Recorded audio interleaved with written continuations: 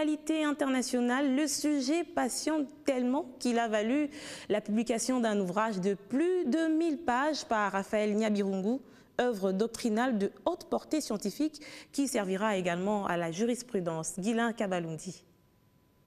Une richesse littéraire des plus pour le droit international pénal. Comme l'exige la tradition, le nouveau-né a été porté sur fond baptismaux. Droit international pénal, crime contre la paix et la sécurité de l'humanité, tel est son intitulé. Ce volume de 1054 pages porte notamment sur l'analyse de certains articles du Code pénal militaire. Il met en exergue les valeurs fondamentales de la justice. Son auteur soutient par ailleurs que la RDC, qui a toujours collaboré avec la CPI, devra disposer d'un outil de travail pour combler le vide. Que la justice c'est un des attributs de la souveraineté d'un État.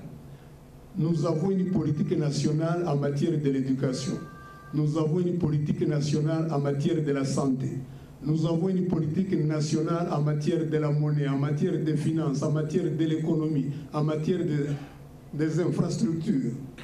Il n'est pas concevable que la justice soit absente de la définition d'une politique nationale truffé d'anecdotes et de quelques passages d'humour, les livres du professeur Raphaël Nyabirungu Mwene, avocat à la Cour pénale internationale et au Tribunal pénal international pour le Rwanda, se veut un guide ou mieux un outil qui donne de pistes de solutions pour mettre fin au cycle de violence dans l'est de la RDC.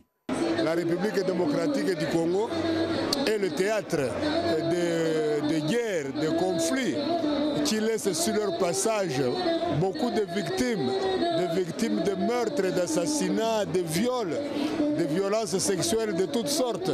Et notre ouvrage est un ouvrage de droit international, c'est un ouvrage qui donne effectivement des pistes de solutions à tous ces problèmes que la République démocratique est en train de vivre. La manifestation a été rehaussée de la présence de plusieurs personnalités tant du monde politique que scientifique.